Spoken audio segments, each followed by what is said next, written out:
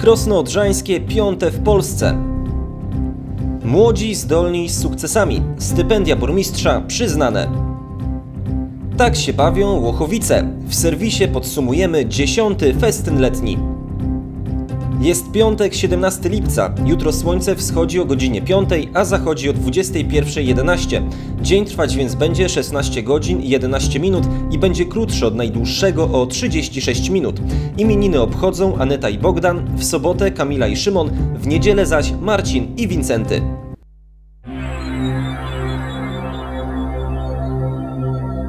Wielki sukces Krosna Odrzańskiego. Takim mianem można określić wyniki ostatniego rankingu Rzeczpospolitej. W kategorii gmin miejskich i miejsko-wiejskich nasza gmina zajęła piąte miejsce, będąc zarazem najlepszą z województwa lubuskiego. To wyróżnienie to tak naprawdę 5 lat ciężkiej pracy całego zespołu, e, też jednostek podległych i wszystkich mieszkańców, którzy wspierali nas w działaniach, które podjęliśmy w roku 2010, obejmując kadencję samorządów e, na lata 2010-2014. E, dzisiaj tak naprawdę to są efekty tak jak powiedziałem, decyzji, które podejmowaliśmy na początku kadencji 2010-2014, e, ponieważ ranking e, Rzeczpospolitej obejmuje e, właśnie te poprzednie lata. Ten przez wielu oceniany jako najbardziej prestiżowy polski ranking samorządów został przygotowany w dwóch etapach. Najpierw brano pod uwagę wszystkie samorządy w Polsce i ich wyniki finansowe na podstawie danych z ministerstwa. Spośród najlepszych 250 samorządów w danej kategorii wyłoniono 100 i właśnie wśród tych najlepszych z najlepszych Krosno Odrzańskie uplasowało się na piątym miejscu. Punkty przyznawano za wysokość dochodów i wydatków na mieszkańca, pozyskane środki unijne, wydatki na organizacje pozarządowe, nakłady na gospodarkę mieszkaniową, na promocję oraz liczbę nowych podmiotów gospodarczych. Była oceniana efektywność, czyli zna, znajomość swoich zasobów i takie i nimi gospodarowanie, żeby uzyskać jak najwyższy efekt. I to się y, nam rzeczywiście udało. Drugi element, który mi się podobał w tej ocenie, to to, że była oceniana działalność kilkuletnia, czyli od 2011 do 2014 roku, czyli jakby potwierdziło to, że kierunek, który obraliśmy, był właściwy. Czyli jak najmniej y, wydawać na bieżące utrzymanie, jak najwięcej inwestować, no i dławić te zadłużenie, które na początku było wysokie. I myślę, że właśnie ta dynamika zmian, tak ogromna, która zaszła przez te ostatnie trzy lata, spowodowała, że zajęliśmy tak wysoką pozycję. Wyniki rankingu potwierdzają skuteczność zrównoważonego rozwoju realizowanego przez gminę. W odróżnieniu od wielu innych samorządów ujętych w rankingu, Krosno W każdej kategorii osiągnęło dobre lub bardzo dobre wyniki. To właśnie dzięki ich zsumowaniu piąte miejsce stało się faktem. To, co zrobiliśmy e, przez ostatnie lata, znajduje uznanie. E, często na sukces się pracuje przez lata i właściwie ten ranking pokazuje, że warto być konsekwentnym w działaniu i warto podejmować czasami trudne decyzje. E, przypomnę, że w roku 2011 próba reformy finansów gminy została zakończona właściwie dzisiaj dopiero sukcesem, ponieważ te decyzje owocują dopiero po kilku latach. A te efekty są dziś widoczne. W Krośnie Odrzańskim w ostatnich latach zrealizowano wiele inwestycji, dzięki którym gmina stała się nie tylko nowoczesna, ale także atrakcyjna, między innymi dla inwestorów czy przede wszystkim samych mieszkańców. Ten aspekt także został uwzględniony podczas tworzenia rankingu. Od wielu lat inwestujemy w bazę mm, informatyczną gminy Krosno Odrzańskie. Jesteśmy przekonani o tym, że e, wszelkiego typu nowinki techniczne, które są wprowadzane w dużych miastach, spokojnie mogą się również sprawdzić u nas. Ale też sporo takich innowacyjnych pomysłów. Budżet obywatelski. E, jako pierwsi kilka lat temu wprowadziliśmy e, budżet fundusz sołecki, tak? zanim jeszcze w ogóle były, były odpowiednie ustawy uchwalone przez, przez polski Sejm. Także Także sporo takich y, działań innowacyjnych i w końcu to w jakiś sposób się y, sprawdza. Gospodarczo zrobiliśmy też bardzo dużo. To są efekty, y, które pewnie za jakiś czas dopiero zobaczymy. Znaczy mam nadzieję, że będą efekty realizacji wielkiego projektu promocji gospodarczej. Myślę, że jest kilka elementów, które się złożyły na tak wysokie miejsce w rankingu. Między innymi determinacja co do realizacji projektu Laptop dla każdego ucznia. To też pozwoliło samorządowi krośnieńskiemu wywindować się w tym rankingu, ponieważ dzisiaj jesteśmy gminą kojarzoną z nowoczesnym zarządzaniem, z, nowoczesnym, z nowoczesnymi technologiami. Ogromny udział w tak dużym sukcesie mają także sami mieszkańcy, dodaje burmistrz. I choć nie wszyscy wiedzieli wcześniej o rankingu, nie kryją zadowolenia z tak wysokiego miejsca. Jestem bardzo zdziwiony, ale też zadowolony, bo ja też jestem w gminie właśnie tej i w sumie powiem, że nasz burmistrz stara się, żeby było jak najlepiej dla nas. Co chwilę tworzy coś nowego albo na naprawia sta stare, zużyte rzeczy. Pewnie, że się cieszymy, bo korzystają wszyscy e, na tym, że gmina na przykład e, w szkołach udostępnia sprzęt naszym dzieciom. To, to jest coś, co, co naprawdę z czego należy się cieszyć. Oczywiście, że się cieszę jako mieszkanka gminy i miasta Krosna, także na pewno jestem zadowolona. Patrząc jak zmienia się wizerunek miasta, to, to na pewno jest dużym plusem. Piąte miejsce to największy dotychczasowy sukces, jaki gmina odnotowała w rankingu Rzeczpospolitej. Dodajmy, że w 2012 roku brano pod uwagę dane z lat 2008-2011 oraz w 2013 dane z lat 2009-2012 Krosno Odrzańskie w ogóle nie weszło do rankingu Rzeczpospolitej. Na gali wręczania nagród był obecny Marek Cebula, burmistrz Krosna Odrzańskiego. Okolicznościowy dyplom odebrał z rąk Jerzego Buzka, przewodniczącego kapituły, który chwalił ciężką pracę włożoną w rozwój gminy. Pierwsze miejsce w kategorii gmin miejskich i miejsko-wiejskich zajął Kołobrzeg, drugi był Aleksandrów Łódzki, trzeci zaś Jarocin.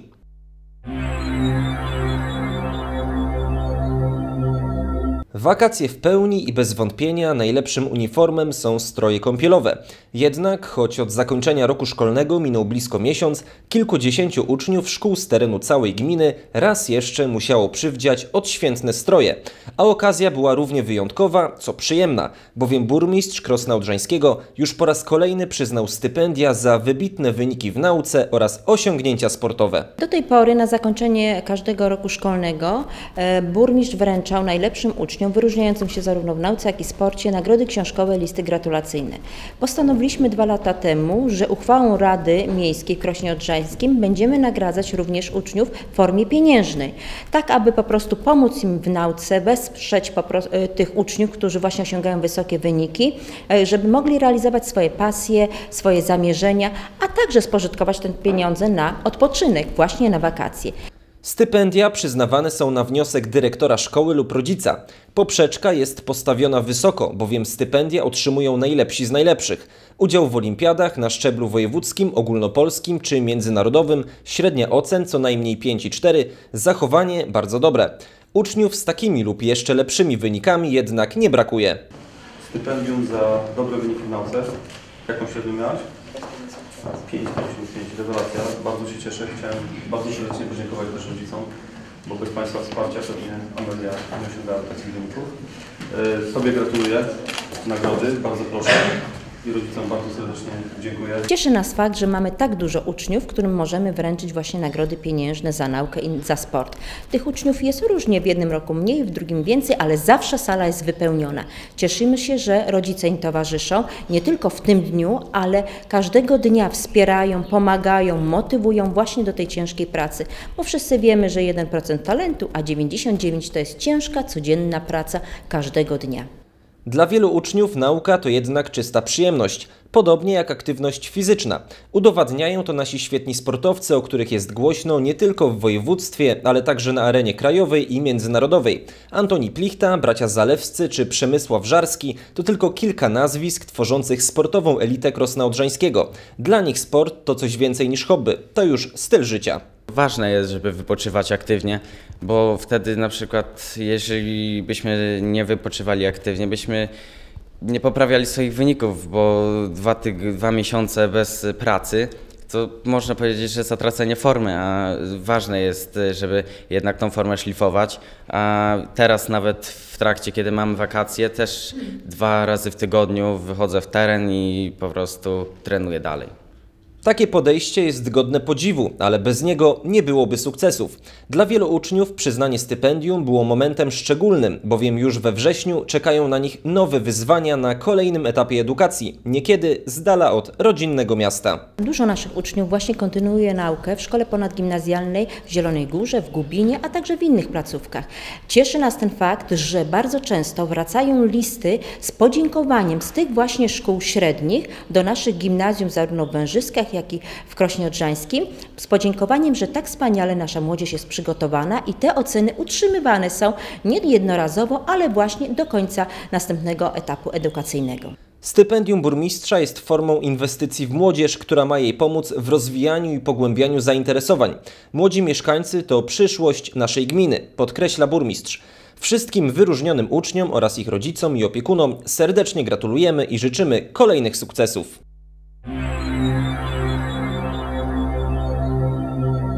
W minioną sobotę Łochowice przeżywały prawdziwe oblężenie. Wszystko za sprawą corocznego festynu letniego, który już na trwałe wpisał się w kulturalnym kalendarzu nie tylko samej miejscowości, ale i gminy. Tegoroczna edycja była szczególna, bowiem festyn obchodził jubileusz dziesięciolecia. Organizatorzy przygotowali moc atrakcji oraz liczne niespodzianki. Osoby, które tego dnia odwiedziły miejscowość, z pewnością nie mogły się czuć zawiedzione. Ja jestem tutaj za każdym razem co roku i, za każdym razem przyjeżdżam, więc podoba się, więc przyjeżdżamy co, co roku. Tu zawsze było bardzo fajnie, nigdy nie było źle, zawsze zabawa udana. E, Ludzi jak widać dużo przybyło i przybędzie jeszcze. Jest, atmosfera jest zawsze wspaniała. Ja jestem mieszkańcem Łuchowic, już w kilku uczestniczyłem. Bardzo, ba- zawsze bardzo fajna impreza, dużo ludzi przychodzi, no i szczytny cel. Jak słyszymy, stałych bywalców nie brakowało, ale tegoroczna edycja festynu przyciągnęła do Łochowic także debiutantów. Wie pan co, ja na takim festynie tutaj w Zielonogórskim jestem pierwszy raz i bardzo fajnie, miło i sympatycznie. Pierwszy raz, ale chyba pani wróci. No na pewno. To za rok. Do siostry zawsze przyjdę. Tak, do siostry zawsze No właśnie, a pani jak ocenia festyn tegoroczny? Ja też jestem pierwszy raz na Łachowicach, także fajnie, miło. Dobrze, że jest pogoda. Pogoda rzeczywiście dopisała, dlatego tym bardziej można było cieszyć się z przygotowanych atrakcji.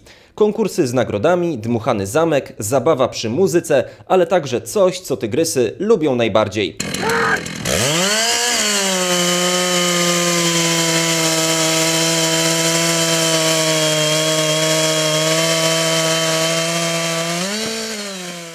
Silni mężczyźni i piły łańcuchowe.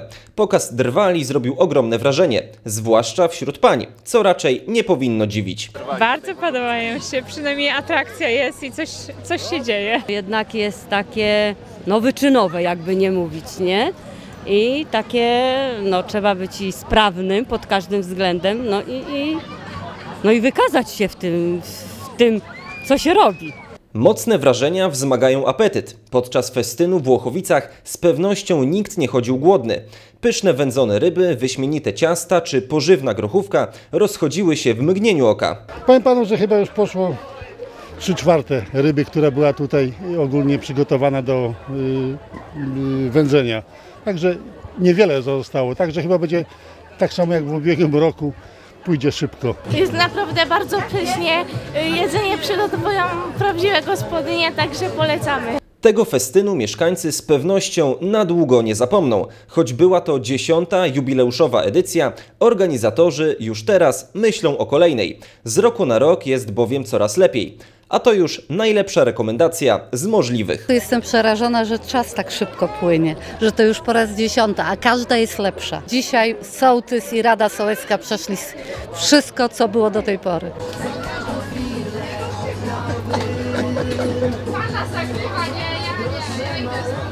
Tym miłym akcentem mówimy Łochowicom do zobaczenia, czekając na kolejny, jedenasty już festyn letni.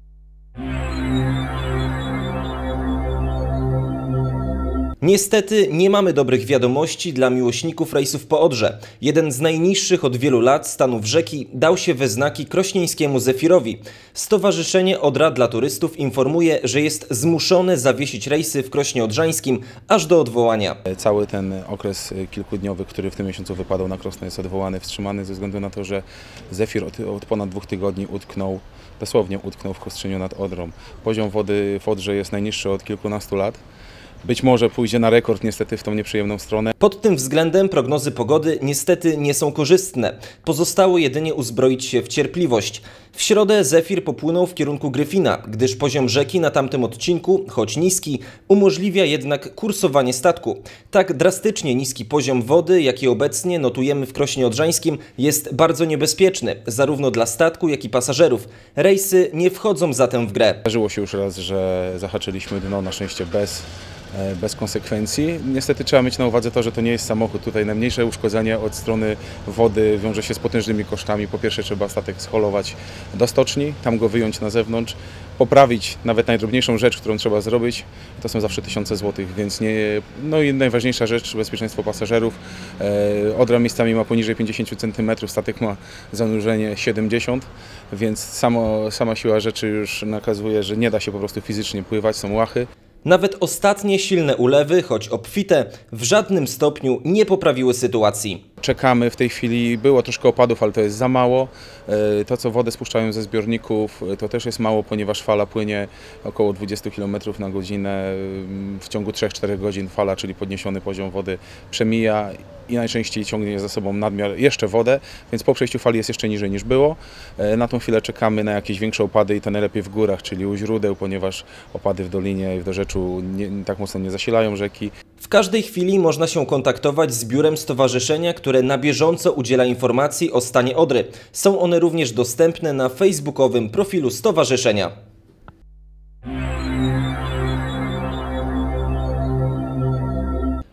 18 maja weszły w życie przepisy, które drastycznie zaostrzają kary dla kierowców, m.in. przekraczających prędkość w terenie zabudowanym oraz wsiadających za kierownicę pod wpływem alkoholu, ale także kierujących mimo nałożonego zakazu. Przypomnijmy, Zgodnie z nowymi przepisami, w momencie, jeżeli mamy odebrany, y, znaczy zakaz prowadzenia pojazdów ten trzymiesięczny, okres wydłuża się o kolejne trzy miesiące. W momencie, jeżeli y, ponownie będzie taki kierowca zatrzymany, będą mu cofnięte uprawnienia. I w minionym tygodniu w województwie lubuskim miał miejsce pierwszy taki przypadek. Doszło do niego w gminie Krosno Odrzańskie, a konkretnie w miejscowości Sarbia. 26-letni mężczyzna, któremu w myśl obowiązujących przepisów zatrzymano uprawnienia na 3 miesiące, zlekceważył nałożony na niego zakaz. Teraz mężczyźnie wydłużono karę o kolejne 3 miesiące.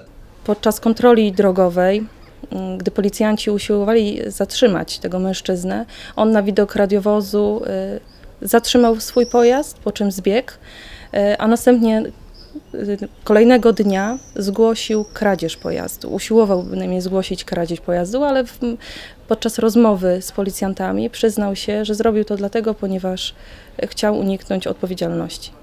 Tej odpowiedzialności z pewnością jednak nie uniknie. Oprócz zatrzymania prawa jazdy łącznie na 6 miesięcy, mężczyzna został ukarany mandatem w wysokości 550 zł. Jeśli w tym czasie po raz kolejny wsiądzie za kierownicę, jego uprawnienia zostaną cofnięte. 26-latek będzie musiał wówczas ponownie zdać egzamin. To jednak nie jedyne zajście, do jakiego doszło w mijającym tygodniu. Ponownie bowiem krośnieńscy policjanci zatrzymali kierowców łamiących przepisy. Znów w roli głównej alkohol i inne używki.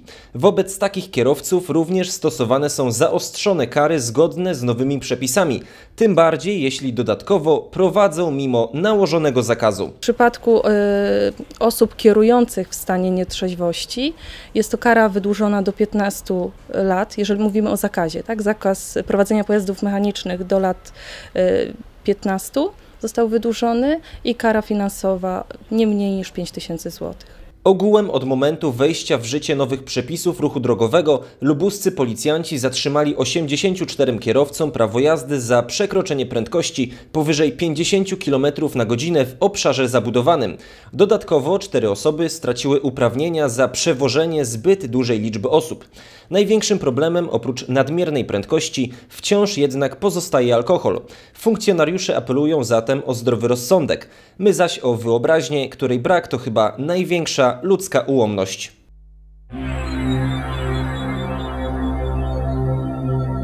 Dwudziestego 23 lipca Nadodrzański Oddział Straży Granicznej wznawia nabór do służby. W bieżącym roku planuje przyjęcie 35 nowych funkcjonariuszy. Służba w Straży Granicznej zawsze cieszyła się dużym zainteresowaniem. Podczas poprzedniego naboru, o którym informowaliśmy w grudniu, o jedno miejsce ubiegało się aż 10 osób. Jakie podstawowe wymogi muszą spełniać kandydaci na przyszłych funkcjonariuszy? Osoby, które chcą zostać funkcjonariuszem Straży Granicznej, muszą przede wszystkim posiadać obywatelstwo polskie, mieć nieposzlakowaną opinię, nie mogą być karani, muszą wykazywać y, szczególne predyspozycje psychiczne oraz fizyczne do tego, aby zostać przyjętym do Straży Granicznej. Ze względu na charakter pełnionej służby, procedura kwalifikacyjna jest rozpisana na kilka etapów. Osoba powinna najpierw osobiście, podkreślam, że osobiście po uprzednim umówieniu się złożyć dokumenty w Wydziale Kadr i Szkolenia. Następnie po wstępnej weryfikacji przeprowadzana jest krótka wstępna rozmowa kwalifikacyjna.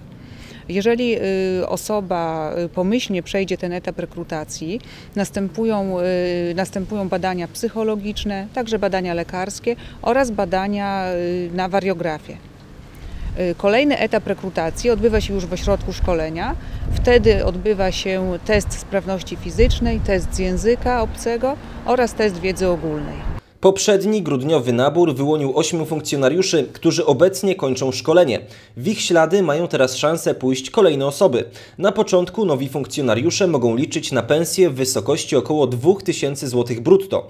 Jednak, jak podkreśla rzecznik Irena Skuliniec, służba w Straży Granicznej to także doskonały sposób na samodoskonalenie oraz rozwój osobisty, m.in. ze względu na zróżnicowany charakter prowadzonych działań. W zachodniej części naszego kraju, gdzie kontrola graniczna na granicach wewnętrznych Schengen została już zniesiona, podstawowe działania Straży Granicznej skupiają się na przeciwdziałaniu nielegalnej migracji. Y, natomiast w placówkach, gdzie jest dokonywana kontrola graniczna, są to placówki lotnicze w naszym oddziale, tam funkcjonariusze y, dokonują kontroli y, granicznej. Wszystkie informacje dotyczące naboru można znaleźć na stronie internetowej Nadodrzańskiego Oddziału Straży Granicznej. Z kolei aktualne akty prawne, które regulują tryb naboru kandydatów są dostępne na stronie internetowej Komendy Głównej Straży Granicznej.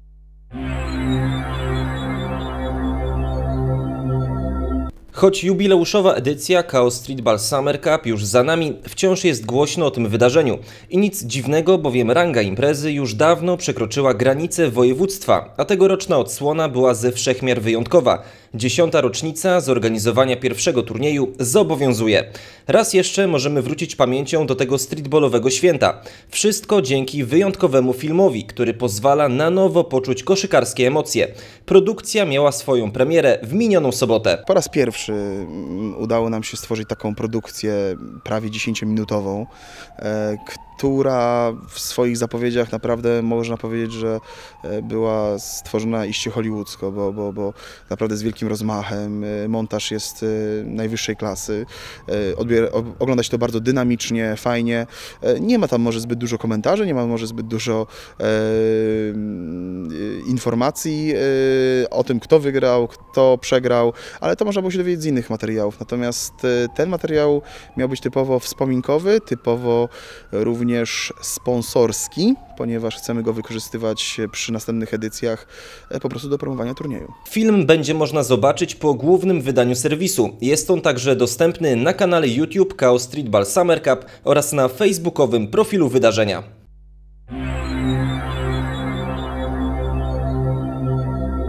W niedzielę 6 września odbędzie się ogólnokrajowe referendum. W związku z trwającymi przygotowaniami już teraz mamy ważne informacje dla mieszkańców gminy. Najważniejsza z nich dotyczy zmiany jednego z dotychczasowych lokali wyborczych.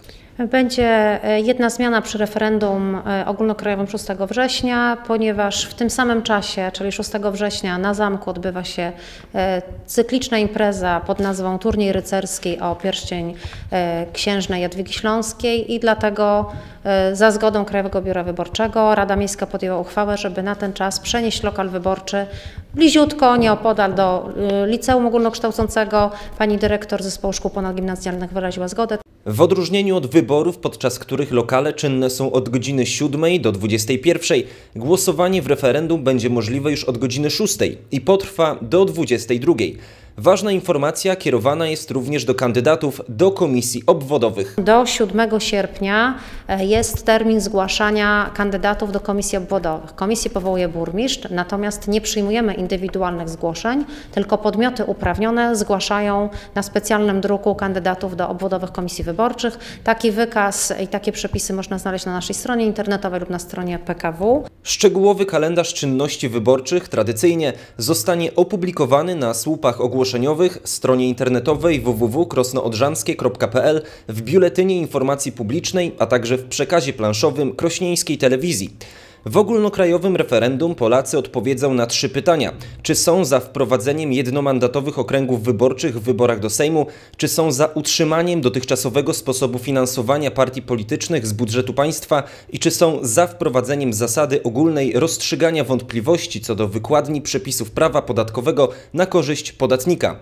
Obecnie toczy się debata nad wprowadzeniem dodatkowych pytań, dlatego też do tego tematu będziemy wracać i informować Państwa na bieżąco.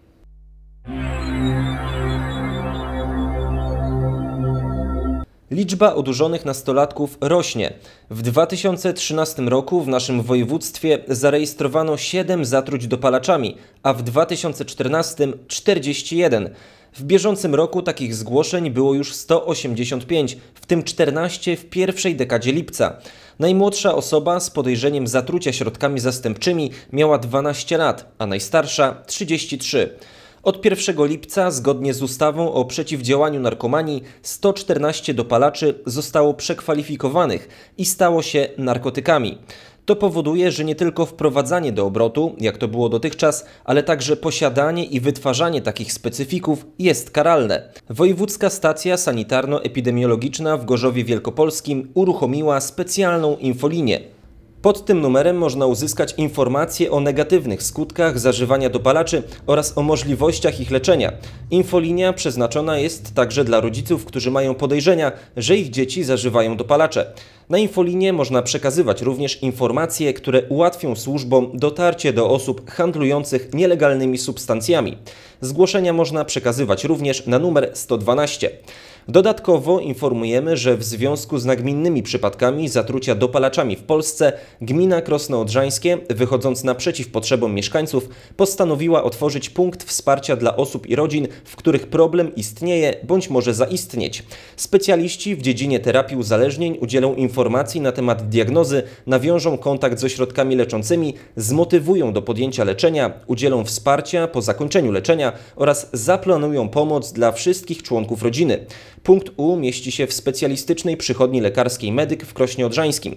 Zadanie zostało dofinansowane ze środków profilaktyki alkoholowej gminy Krosno Odrzańskie.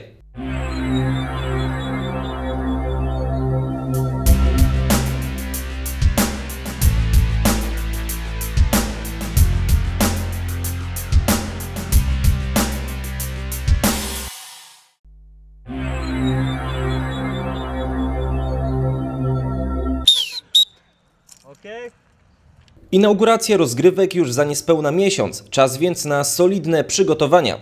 W środę krośnieńska tęcza, świeżo upieczony czwartoligowiec wznowiła treningi.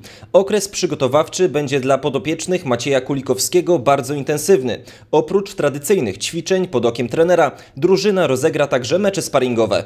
Pierwszy dzień, e, nie ukrywam, że no na żaden obóz niestety nie wyjedziemy, wszystko będziemy mieli tutaj na miejscu. E, chcemy maksymalnie wykorzystać praktycznie e, każdy dzień na, na, na trening. E, mamy zaplanowane 6 sparingów,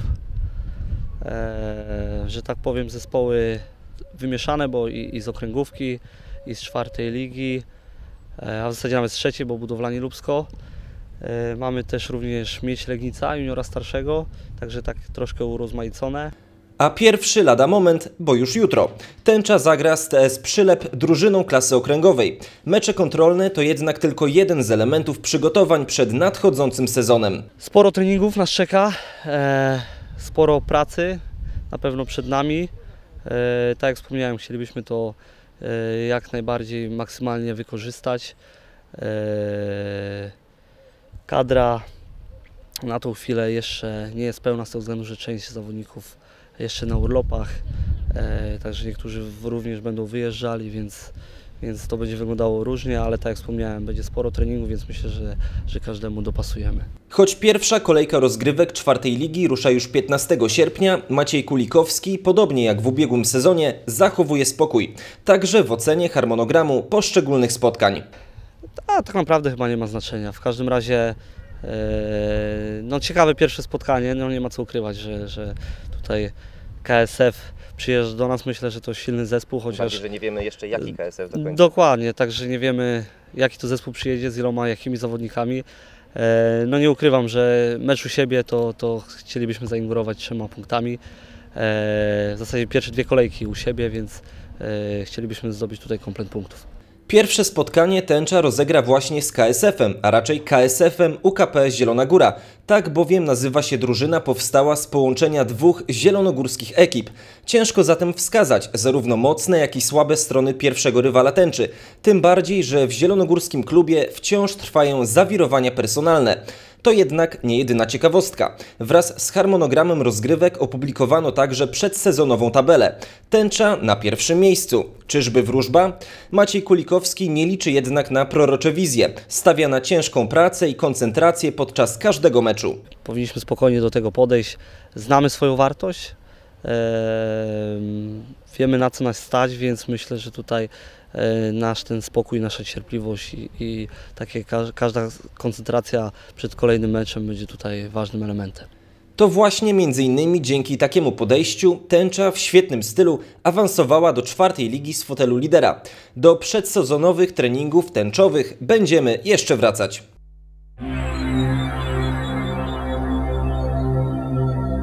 Dominatorzy z Krosna Odrzańskiego, czyli drużyna Tomato, potwierdziła swoją siłę.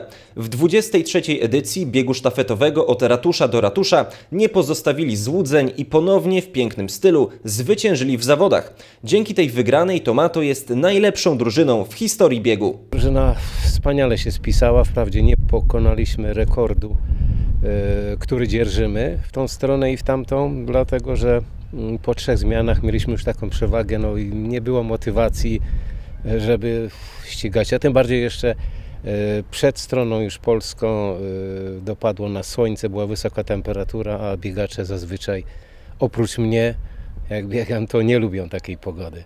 Pogoda nie przeszkodziła jednak w zameldowaniu się na mecie z blisko 24-minutową przewagą nad drużyną z drugiego miejsca. To nowy rekord zawodów. Jesteśmy tą najlepszą drużyną, jesteśmy stolicą tego biegu i dodatkowo dzierżymy jeszcze jeden rekord, czyli rekord, który dzieli różnica czasu między pierwszym a drugim zespołem. Do tej pory rekord ten był od 1992 roku, gdzie bieg był po raz pierwszy. Drużyna jedna niemiecka, która zwyciężyła przed drugą, miała właśnie taką różnicę. My w tym roku żeśmy to pobili. Jak podkreśla Roman Reszke, choć cel został osiągnięty i Tomato jest obecnie najlepszą drużyną w historii biegu, wciąż mają apetyt na kolejne zwycięstwa. Motywacji nie brakuje. My motywację zawsze mamy, tylko że nasi przeciwnicy, jak już widzą, że my jesteśmy na starcie, wszyscy opuszczają głowy w dół, no tak, to już o pierwsze nie mamy się co ścigać. No, no, dla nas to jest przyjemne. Każdy chce zwyciężać. Zresztą powiem szczerze, myśmy zaczynali w 96, gdy była to już piąta edycja, bo nie wiem z jakich powodów wcześniej nie wiedziałem. No i moim marzeniem było już w tym pierwszym biegu, gdzie zajęliśmy 45 miejsce. No wiem, muszę kiedyś być to pierwsze. No i rzeczywiście po 10 latach dopięłem swego. I już jesteśmy 7 razy pierwsi, 4 razy drudzy, raz trzeci. Jeszcze takiej drużyny w historii nie było. I oby tak jeszcze następne 50 lat. I tego życzymy, tym bardziej, że sukcesy naszych biegaczy to zachęta dla innych mieszkańców, aby zadbali o swoją kondycję i aktywnie spędzali wolny czas. Bardzo się cieszę, jak widzę coś takiego, ponieważ kiedyś jak ja biegałem, no wprawdzie nie, nie stukali ludzie się w czoło, że tu jakiś tam wariat biega, ale teraz widzę i rano o 5, rano o 6, o 21, młodzi, starzy i nawet z kijkami, to już jest też coś, coś, coś ala bieg, w każdym razie, że człowiek się porusza, to jest bardzo dobre, tym bardziej jeszcze chciałbym podkreślić przychylność naszych władz. Y, parę lat temu na starcie nawet w Kodbus był nasz burmistrz, który jest bardzo przychylny dla sportu po naszym zwycięstwie, gdy byliśmy już wszyscy na miejscu, przyszedł też nam osobiście podziękować. To dopinguje jeszcze bardziej. W tegorocznym biegu od ratusza do ratusza wzięły udział 54 sztafety z Polski i z Niemiec. Zawodnicy mieli do pokonania trasę o długości 100 km, która została podzielona na 15 etapów. Każdy biegacz musiał pokonać minimum dwa z nich. Na przebiegnięcie tej trasy nasi zawodnicy potrzebowali 5 godzin, 49 minut i 46 sekund.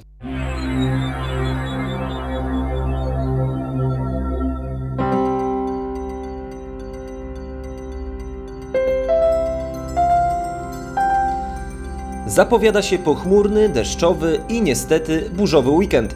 W sobotę w ciągu dnia termometry mogą wskazać 28 stopni, w niedzielę zaś 26. W nocy temperatura spadnie do 18 stopni. Wiać będzie z kierunku południowo-zachodniego w porywach do 25 km na godzinę. Biometr niekorzystny.